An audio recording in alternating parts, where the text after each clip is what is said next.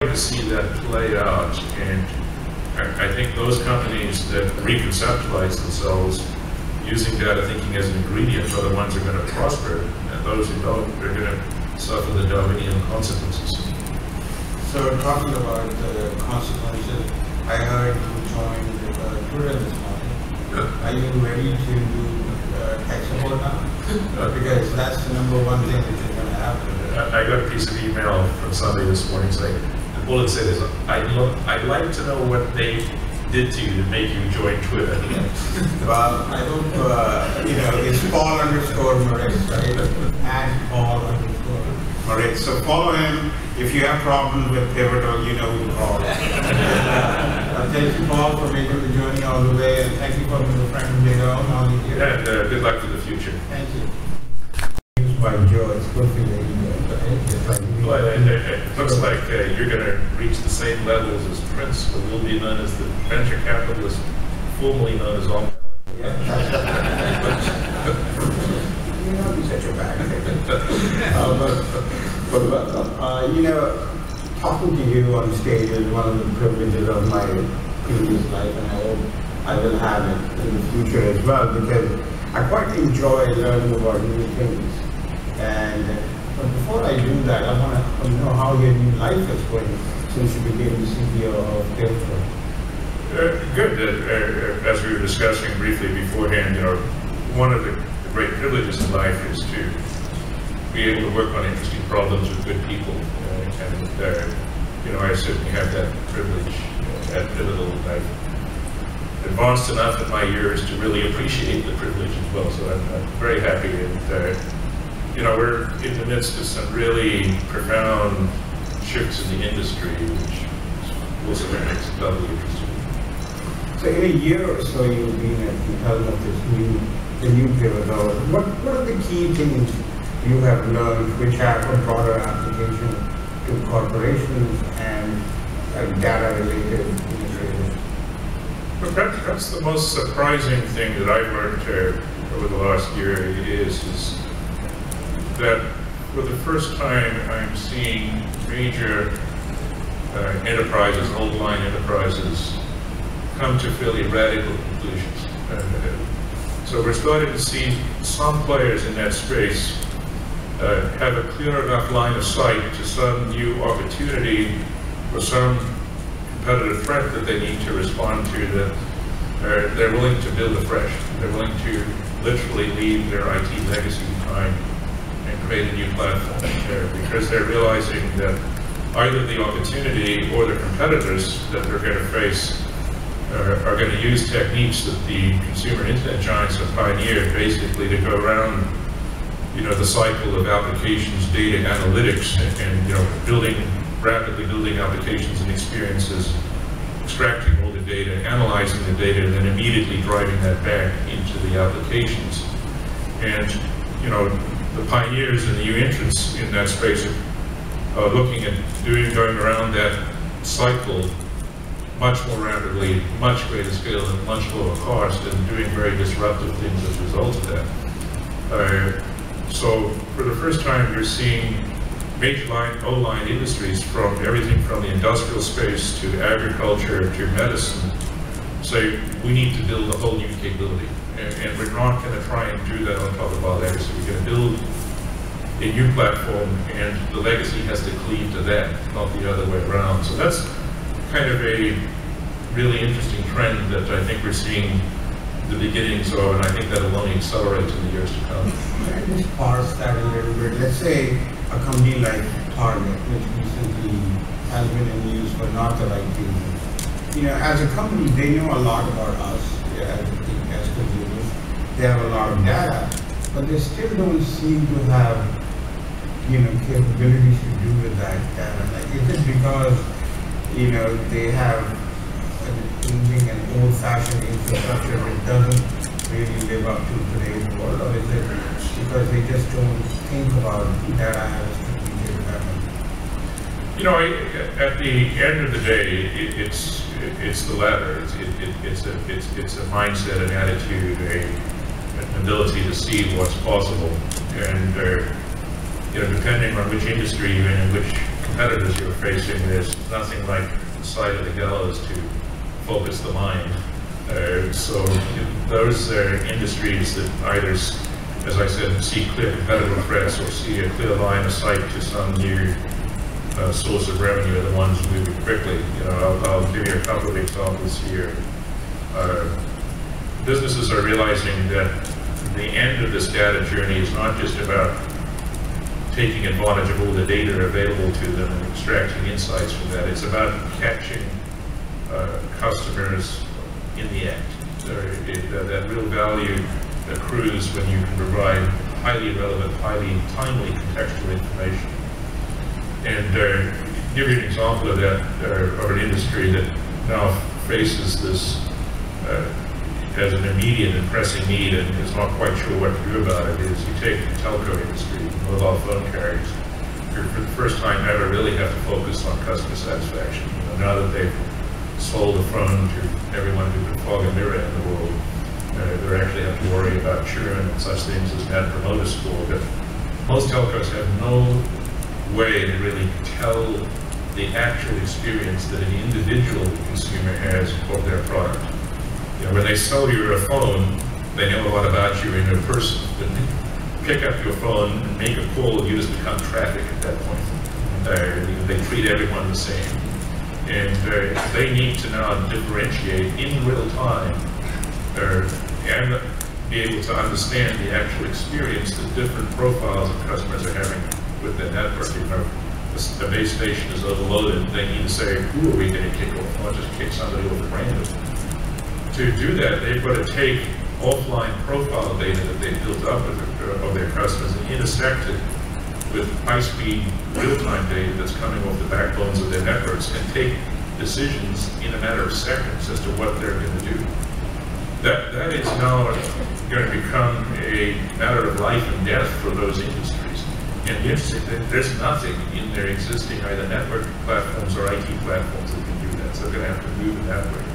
If you go back to a target, it's not just that they need to adopt better practices of, of, of, of, of protecting their data. They have to say, how do we give highly contextual and real-time information to our shoppers? How do we catch them in the act of actually making a decision?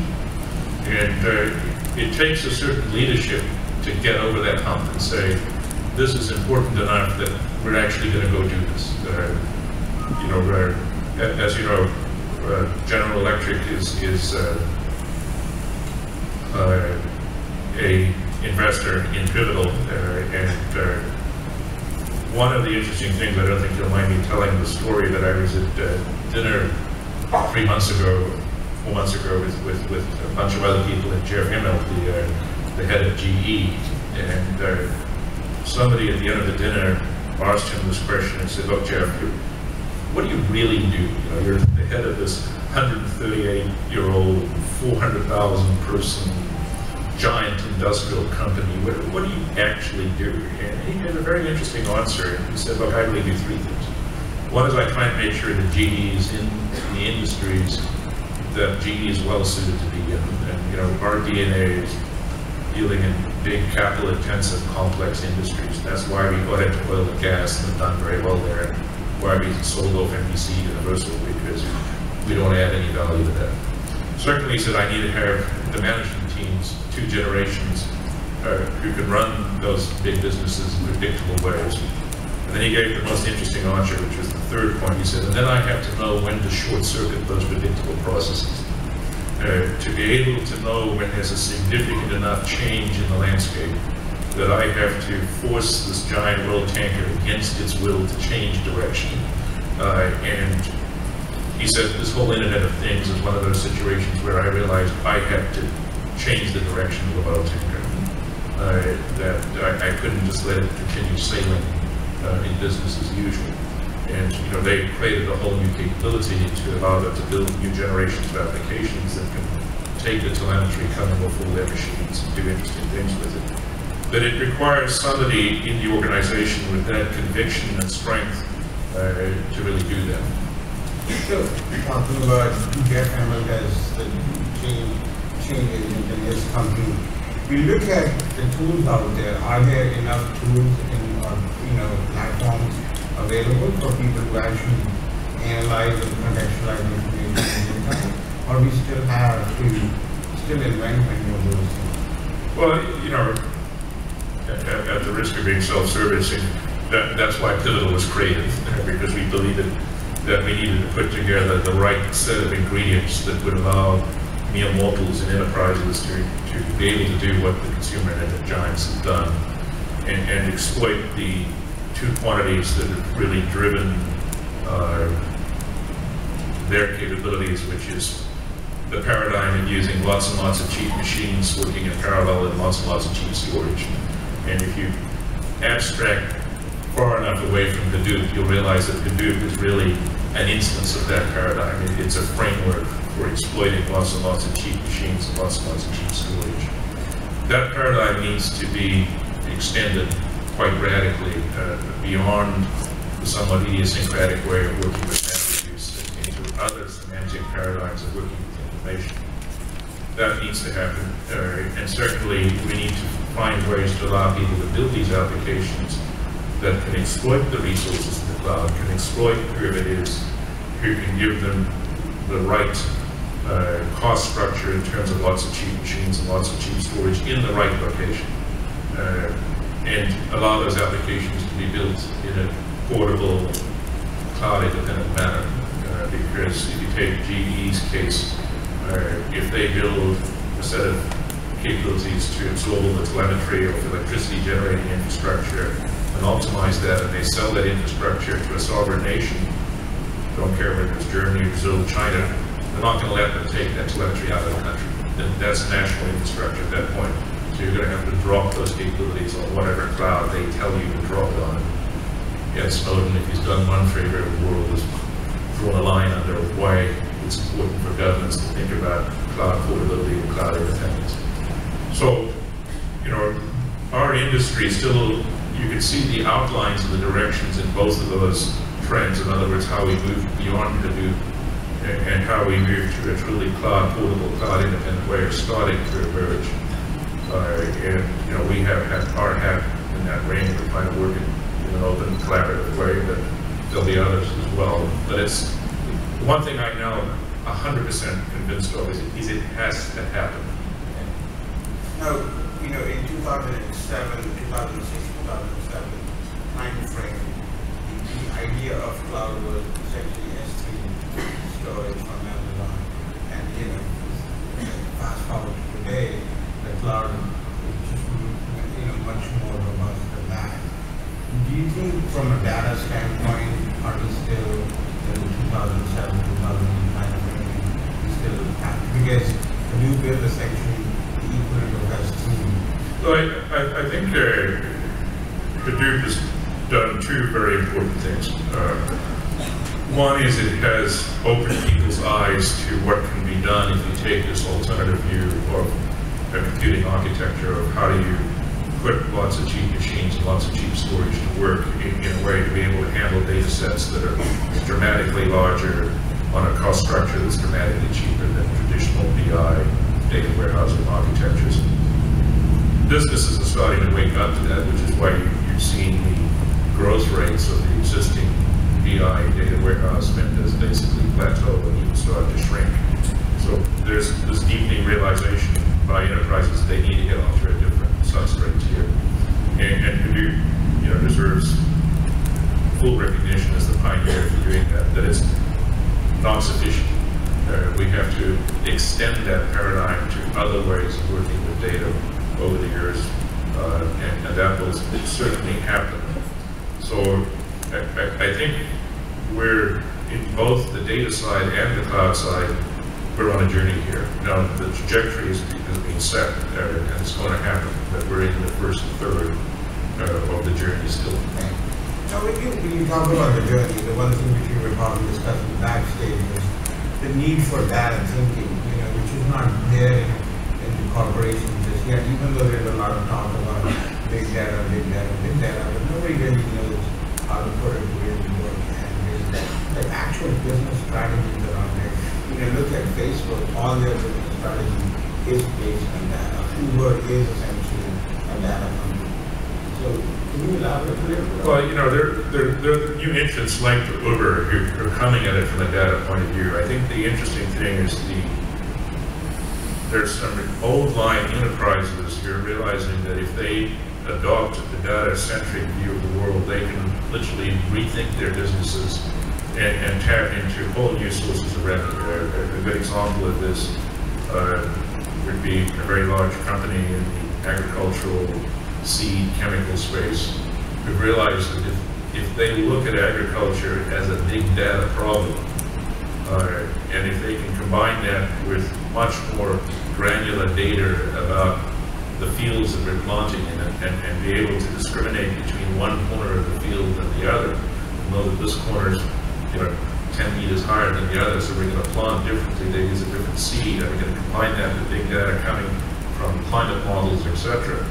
Or if they do that, they could, without any increase in land, water, fertilizer, increase crop yields by at least 10%. And uh, they say, you know, you guys in the computer industry turn out your noses at 10%, but in, in, in, a- world where it's going to have to increase its food- supply by 50% in the next 30 years, otherwise there really will be starvation. This is a big, big deal. Uh, so you're starting to see these companies that you would never have thought of as big data companies or data influence companies reconceptualize themselves. GE being a classic example where, uh, you know, folks went to Jeff Reynolds, and I'm, I'm- I'm paraphrasing grotesquely here, and, and said, look, Jeff, when, when all the consumers in the world got connected to the internet, that enables radical change. Uh, and if we're not careful, all the internet, all the machines in the world are going to get, get connected to the internet, and that will enable radical change. And we should take advantage of that as a